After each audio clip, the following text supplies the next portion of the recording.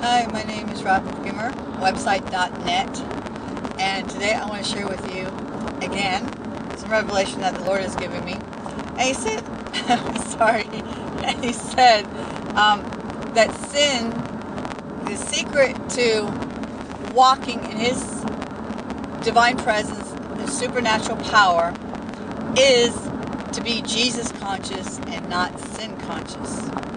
He said to me the reason a lot of people are sick is because that they know that when they sin, the result of sin is uh, punishment in the old covenant. And so, consciously or unconsciously, they're allowing or making or causing themselves to be sick because they don't know that the revelation knowledge of Jesus paid for all their sins and the result of their sins and and what keeps them out of receiving their healing or even walking in God's presence and power by laying hands on other people or witnessing is the fact that they are sin conscious instead of Jesus conscious.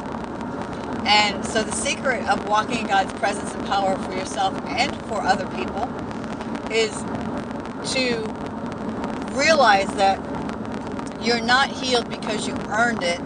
Jesus paid the price for your sins.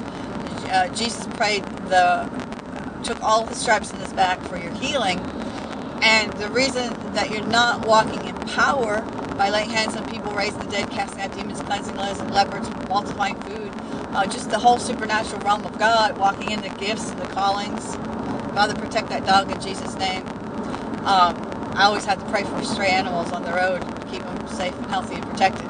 Anyway, the secret that you're not walking in that is because you're sin conscious instead of Jesus conscious.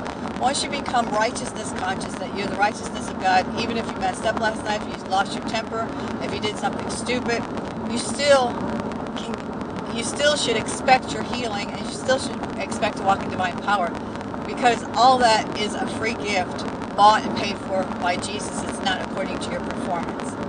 So my name is Robin Bremer, website.net, um, and I hope that sets you free.